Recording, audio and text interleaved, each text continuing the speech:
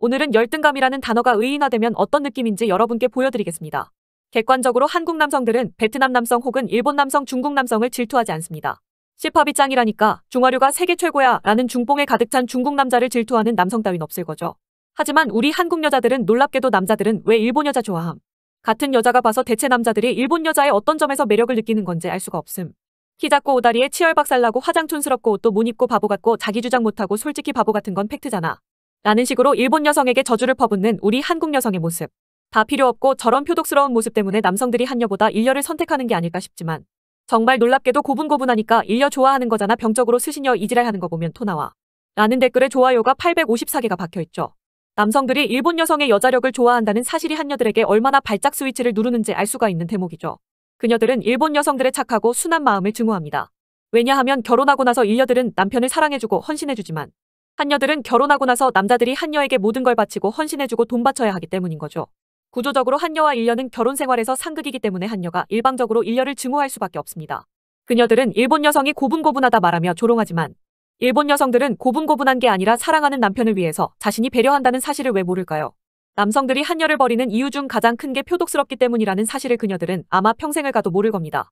여성시대의 일녀 음침이란 난생 처음 보는 단어의 조합을 검색해보면 회사 일녀 진짜 음침하다 인생 존나 피곤하게 살아 라고 말하며 남성들에게 사랑받는 모습을 질투하고 내가 가장 피하고 싶은 일녀는 청순한 일녀야.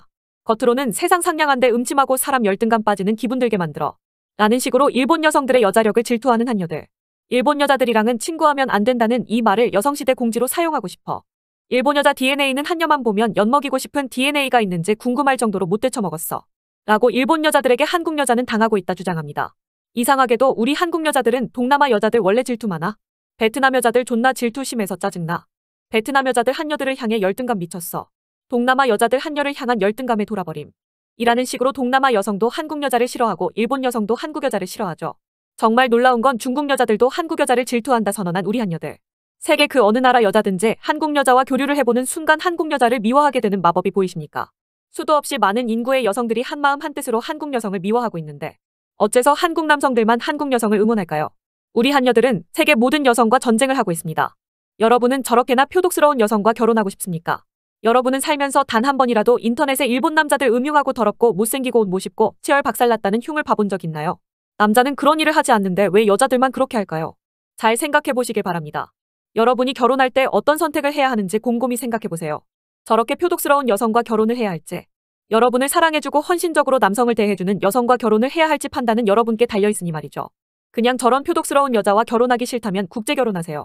그 어떤 나라 여성과 결혼해도 한국 여성과 결혼하는 것보다는 나을 겁니다. 영상 여기서 마칩니다. 여러분의 구독과 좋아요 한 번이 퐁퐁남을 구원해줄 동아줄이 된답니다.